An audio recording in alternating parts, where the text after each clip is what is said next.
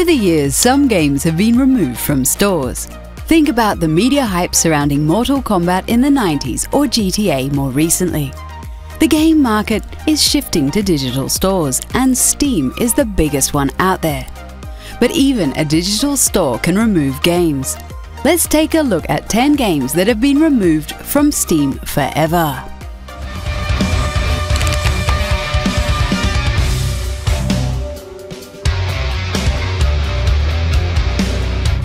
May 2018, there was quite a debate involving an FPS called Active Shooter. This game was all about school shootings, and it was supposed to release in the beginning of June. Mainstream media focused on the game after shooting incidents in the United States.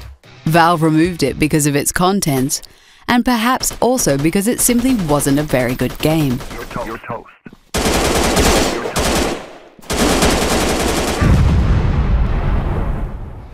Active Shooter was clearly made to spark controversy and not to create quality entertainment. So removing it is a win-win situation for all of us.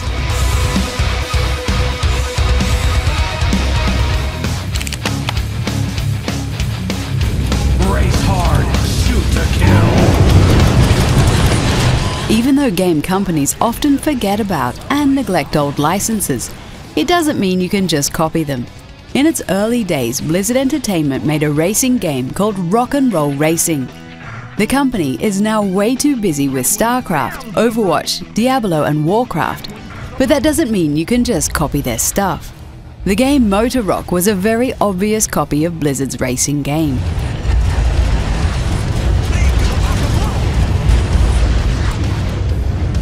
The creators of Motor Rock responded like they had no idea what was going on.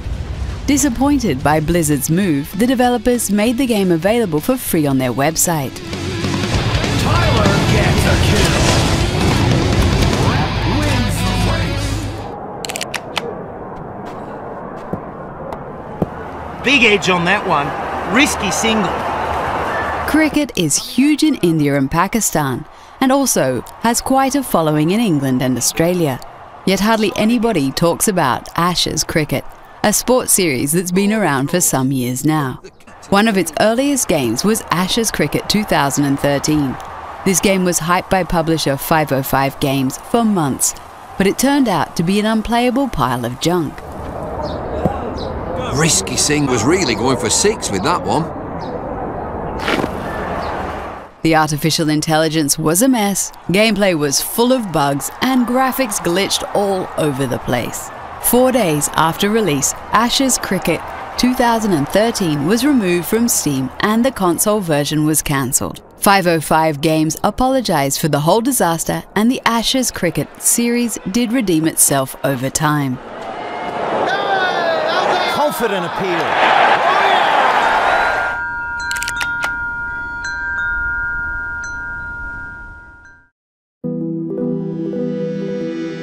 In a world that's turning its eyes more and more towards blockchain technology, there has to be a story about cryptocurrencies and video games.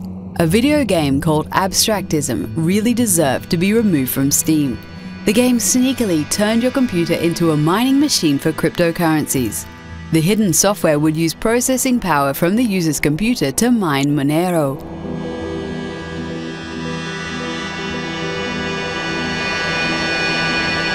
To make things worse, items that could be unlocked in Abstractism looked exactly like those from Team Fortress 2. Both Abstractism and its creator have been banned from Steam.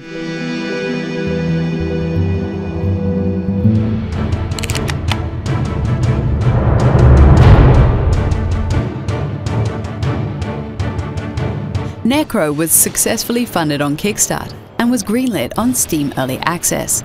Gamers could already buy the game on Steam, even though it was far from finished. Approximately two years after the game became available, it was removed from Steam. As it turns out, the developers working on the action pack game were not very friendly with each other.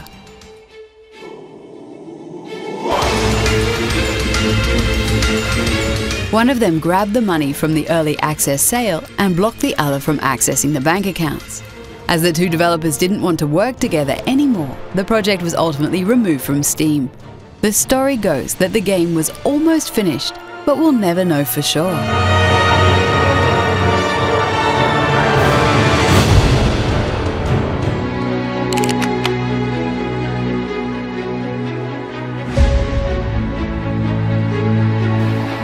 Guardians of Ember is just one of the games from game studio Insel Games that was removed from Steam. Because Wild Buster, Heroes of Titan also got deleted. The reasons for this are quite simple. Insel Games really needed some success and requested its employees to write positive reviews about their own game.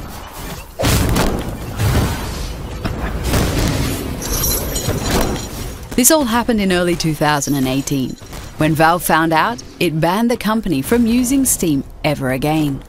Both Guardians of Ember and Wild Buster were removed. The games have found new lives with other companies, so they're not lost forever.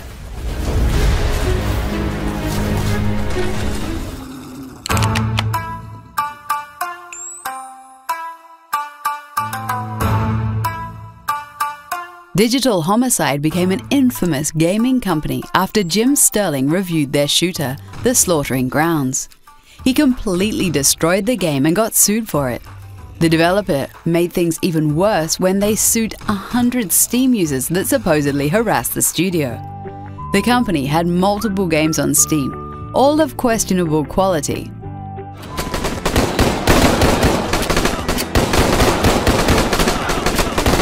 They produced cheap games and tried to sell them for a couple of dollars. The whole thing blew up and Valve wanted none of it. All games from Digital Homicide were removed from Steam and the developer was banned forever.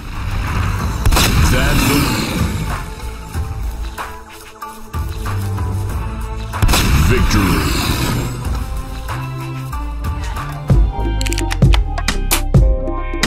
If you knew what I had in store for you.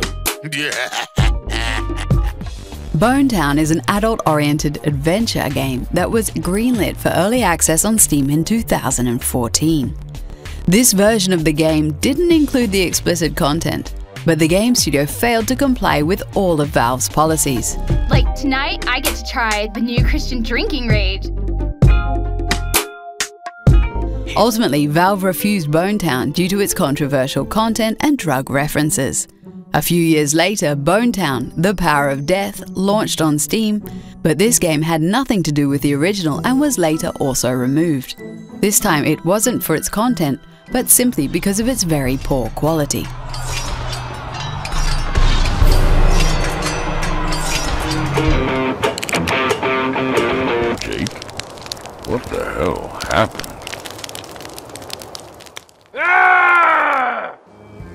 In September 2014, Valve removed Ride to Hell Retribution from Steam. The infamous biker action game had been the center of attention for a vocal group of gamers that truly hated it. Ride to Hell was just a buggy mess. What the hell are you looking?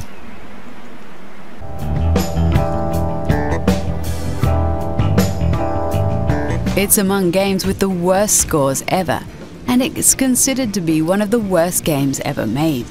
Ultimately, Valve decided that Ride to Hell Retribution just was too bad to be available for sale. Some people need to be protected from bad things.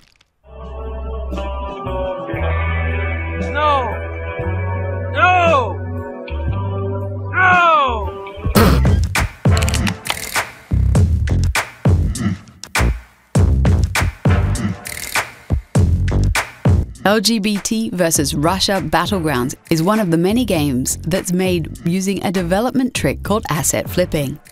Just buy some cheap assets from the Unity store, copy and paste them into a poor game concept, and publish the result on Steam. LGBT vs. Russia Battlegrounds is a very poor battle royale game that looks terrible and has nothing to do with Russia or the LGBT community. We are not sure if the developers made this as a joke or just to earn a quick buck. No matter what their intentions were, we're just happy Valve removed it.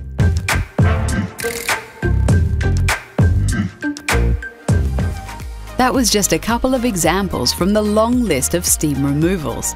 Do you agree with Valve or the developers? Follow us on YouTube, Facebook, Twitter, and Instagram and make sure to let us know.